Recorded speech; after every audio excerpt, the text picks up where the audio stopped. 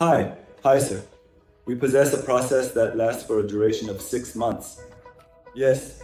How did the process initiate? Can you please provide an explanation? How did it begin? We visited the doctor due to the roughness of the sea. We were informed this relief is a pigeon breast.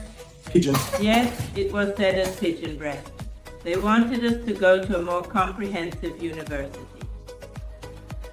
Then I stumbled upon you unexpectedly, and in that moment you made an intriguing observation stating that it is not the chest of the pigeon, but rather their ribs that are incredibly small in size, often tiny. Then I asked for CT.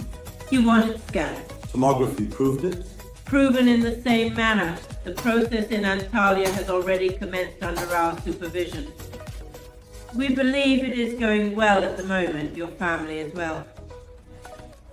What occurred? Let's examine some visuals.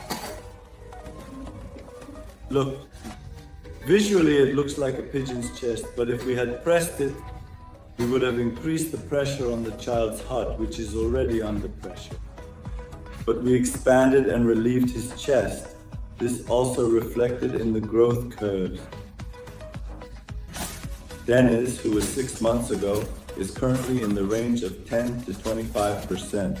So I experienced more growth with treatment compared to my peers. Did you observe any other changes?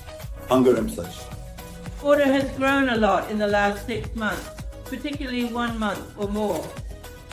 Now we are eagerly running to the table where we used to force ourselves to eat.